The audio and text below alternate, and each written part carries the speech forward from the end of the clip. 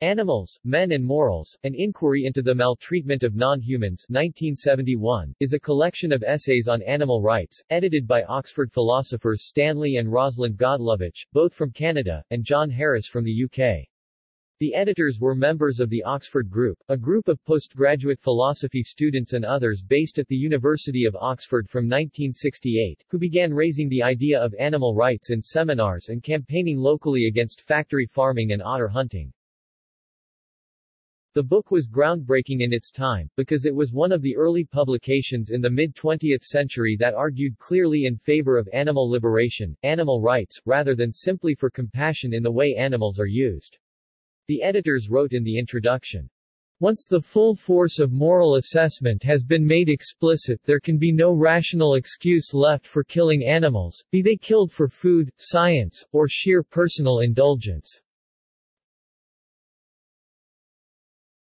Origins Apart from the Godlovitches and Harris, the group also included David Wood and sociology student Mike Peters.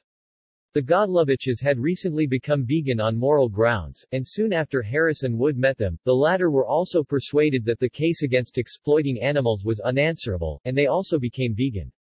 The group then began to raise the issue in lectures and seminars in moral philosophy at Oxford, and also began local campaigning against factory farming, otter hunting, and other animal exploitation issues. The initial inspiration for the book was the discovery of an article called The Rights of Animals by the novelist Brigid Brophy, which had been published in the Sunday Times in October 1965. Brophy's piece was devastating in its brief and unsentimental statement of the case for animal rights. It began, were it to be announced tomorrow that anyone who fancied it might, without risk of reprisals or recriminations, stand at a fourth-story window, dangle out of it a length of string with a meal, labeled free, on the end, wait until a chance passer-by took a bite and then, having entangled his cheek or gullet on a hook hidden in the food, haul him up to the fourth floor and there batter him to death with a knobkerrie. I do not think there would be many takers. It concluded, In point of fact, I am the very opposite of an anthropomorphizer. I don't hold animals superior or even equal to humans. The whole case for behaving decently to animals rests on the fact that we are the superior species. We are the species uniquely capable of imagination, rationality and moral choice, and that is precisely why we are under the obligation to recognize and respect the rights of animals. Soon after the Godlovitches and Harris read the article, the idea of creating a book, or symposium of articles, began to emerge.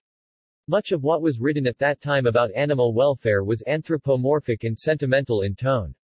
There was plainly a need for something which offered an alternative, in the form of a clear and rigorous philosophical and moral perspective. The group began to draw up a list of possible contributors. Members of the group went to London and visited Brophy, who was enthusiastic and agreed to contribute. Brophy then introduced the group to Richard D. Ryder, a clinical psychologist based in Oxford, who later agreed to write a piece on animal experimentation.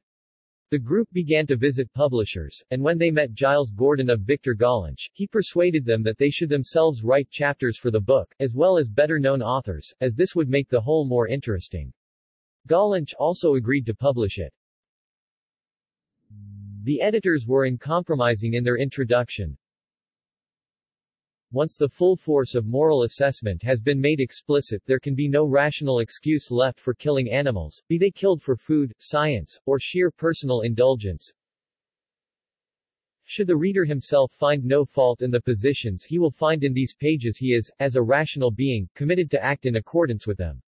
Should he fail to do so, he can only have been terribly misled since childhood about the nature of morality. Contents the book contains essays by Ruth Harrison on factory farming, Muriel Dowding, founder of Beauty Without Cruelty, on furs and cosmetics, Richard D. Ryder on animal testing, and Terence Hegarty from the Fund for the Replacement of Animals in Medical Experiments on Alternatives. John Harris writes about killing for food, Maureen Duffy about hunting, Brigid Brophy about the need for animal rights, Rosalind and Stanley Godlovitch about the ethics, and Leonard Nelson, the German philosopher who died in 1927, about duties to animals. There are essays from David Wood and Michael Peters on the sociological position, and a postscript from Patrick Corbett, professor of philosophy at the University of Sussex. Corbett concluded with, Let animal slavery join human slavery in the graveyard of the past. It was in Ryder's article that the word speciesism made its first appearance in an independent publication. Ryder had first used it in 1970 in a privately printed pamphlet, entitled Speciesism, which he had distributed around Oxford and sent to the colleges. He argued in the book that speciesism is as illogical as racism, writing that species and race are both vague terms, and asked, if, under special conditions, it were one day found possible to cross a professor of biology with an ape, would the offspring be kept in a cage or in a cradle? Reception the book got into trouble from the moment of publication, because two animal experimenters named by the editors in Ryder's piece objected to what had been written about them. The publisher Gollancz was forced by the threat of legal action to pay damages, and to put an errata slip in all copies. In terms of public reception, the unusual and radical approach taken by the book meant that it created a small stir in the United Kingdom. John Harris was interviewed on the PM program, and appeared on local television. The book was also reviewed in several papers and journals. But the way forward for animal rights as an issue was eventually to occur by a different route. The Australian philosopher Peter Singer had come to vegetarianism through meeting the Godlovitches when he was a postgraduate student in Oxford, and gave critical feedback on Rosalind Godlovitch's contribution to the book. It was in his review of the book for the New York Review of Books in 1973 that Singer first used the term animal liberation, writing that Animals, Men and Morals is a manifesto for an animal liberation movement.